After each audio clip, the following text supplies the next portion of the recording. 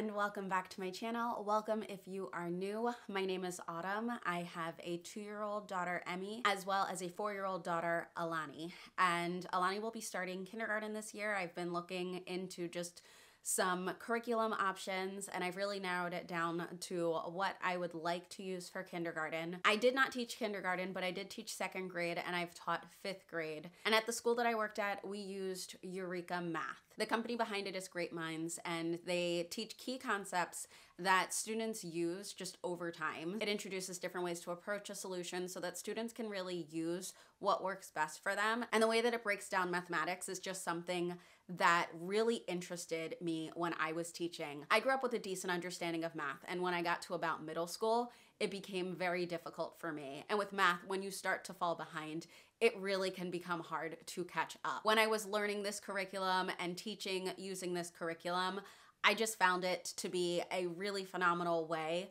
of approaching math. And so I've known for a while that if I was going to be able to homeschool, this would be the math program that I wanted to use. The other great thing about this math curriculum is it is free.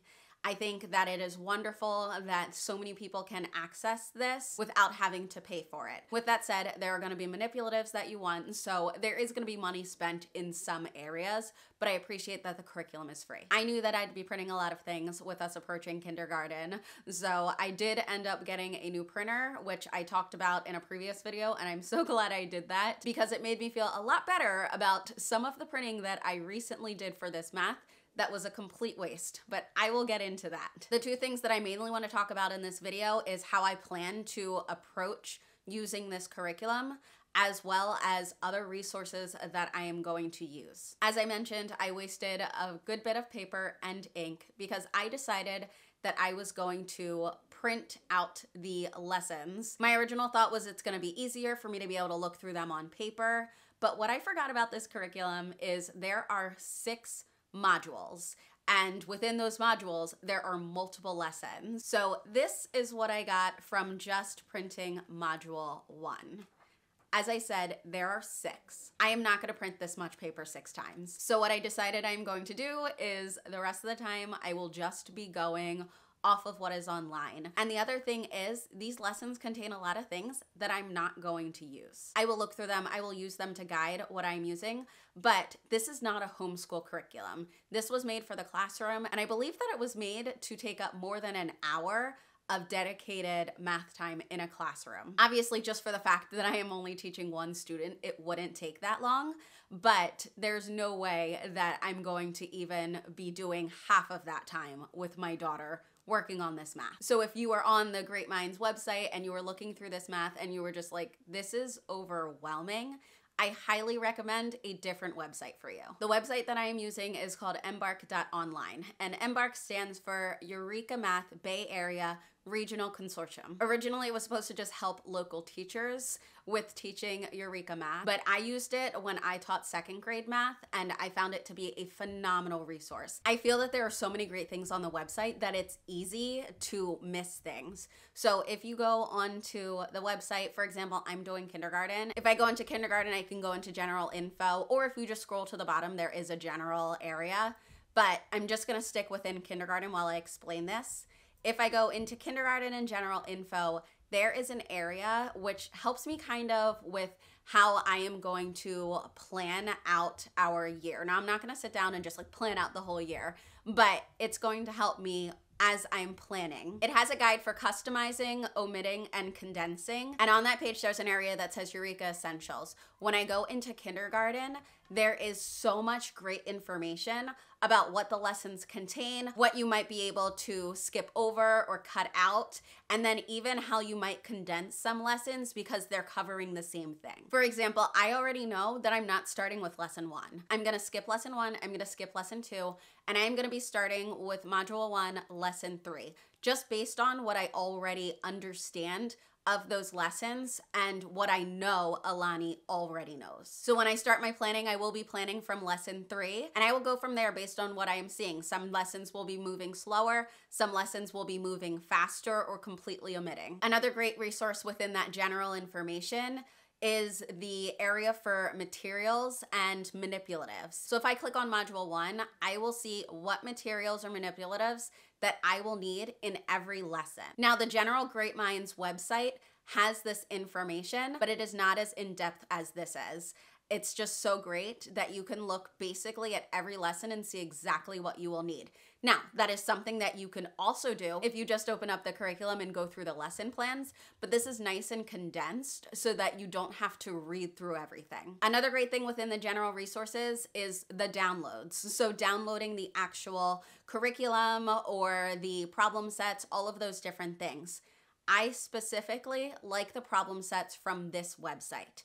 If you go into the problem sets with this website, you will see that they have actually made it easier to print this front and back. Unlike the problem sets on the regular Great Minds site, the problem sets on this site, they have inserted pages. So on a page that is a cut and paste, they have inserted a page so that when you go to print it, you're not going to have to worry about cutting into another page. They made it so that it works double sided, and I truly appreciate all of the work that went into that. There are so many things within this general information that I could go over, but the last one that I want to mention is games. In the area called Building Fluency Through Games, there are so many games that you can choose from to help with that math fluency. Now, I don't know about you, but I remember like the timed tests where you had to quickly write as much as you could. And honestly, Eureka does have that as well. They have something called sprints where you're getting as many done in a certain amount of time.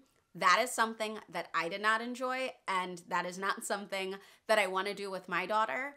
But doing this option allows you to continue working on those fluency skills, but in a more fun and exciting way. It has an area that shows you what all of the standards are, so you can be using the games that align with what you are teaching in a certain lesson and then it also has a description of the games, and then all of the printable games are right there. As someone who creates printable resources on my website, I am thinking that there are gonna be times where I just make these a little bit more fun for Elani. If that ends up being the case, then I will make sure to be sharing them on my website. Anything that I recreate I will just make sure to put on my website as well. So if you are not subscribed to my website, make sure to check the description and go subscribe. Okay, so once you're within kindergarten, if you go through the different modules, there are all of the breakdowns of the lessons. Everything that you will need is within that.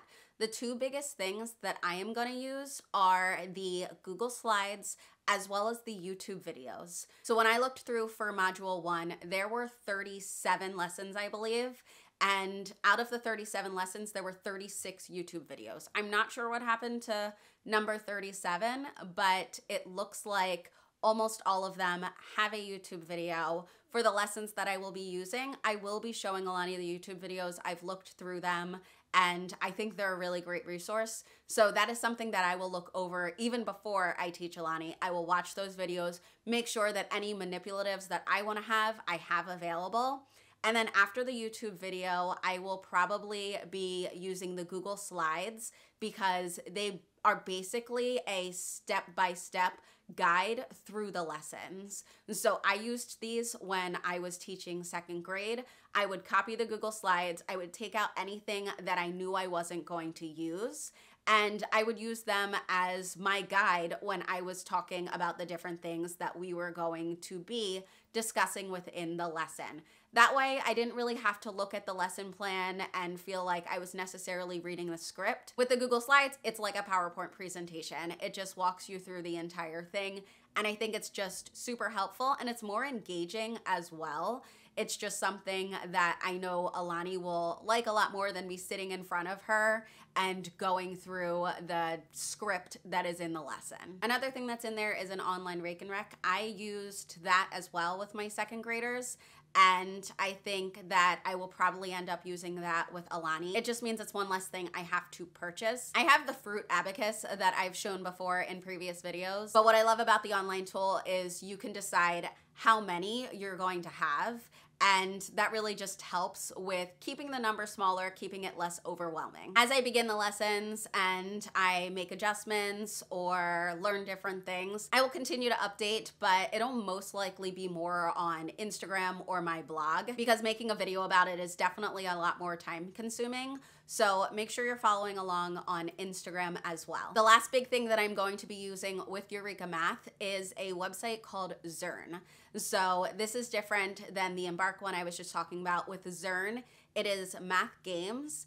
And again, it is absolutely free. There are so many free things that you can access with this curriculum. The Zearn digital activities are short and they go along with what Elani will be learning in Eureka Math. And what I do is basically I just assign her as my student and then she can do the activities. Now, this is something that I will be with her to do most of the time. Like, she'll be doing it on her own, but I'll basically be right there with her. I can assign her a specific activity based on what we are working on, and she can complete those activities at her own pace. I feel like once we get more into it, I could probably do a full video just on Zearn. So I will save that for once we are more into the math curriculum. I really hope this didn't sound overwhelming. I'm actually very excited to start this with Elani because I really enjoyed this curriculum. I didn't enjoy it necessarily in the way that I had to teach it within a school setting,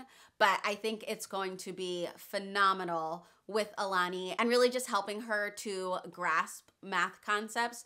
Right now, she really enjoys math, and I think that this is gonna help to give her a really firm foundation. If you just wanted to stick to the lesson plans, I feel like this could be not necessarily open and go, but require a lot less planning than what I'm gonna be putting into this. But because I wanna use so many of the other resources, I'm definitely gonna be taking a decent amount of time planning, but I am perfectly okay with that. One of the reasons I'm homeschooling is to give Elani that individualized education. So I don't necessarily want to be just going through the motions of, all right, now we're doing this page, now we're doing this page. I want to be taking the time to really reflect on what the lesson was that we did. If she needs the next lesson, what are the resources I think are going to be helpful? So, this is exactly what I want out of a math curriculum. I really hope this video was helpful. And if you haven't already, definitely check out Embarc Online, check out Zearn, see if these are things that you think would be beneficial for your child, whether it's kindergarten, eighth grade, whatever. As always, thank you so much for watching my video. If you have any questions or comments, please leave them down in the comment section and I will see you in the next video. Bye.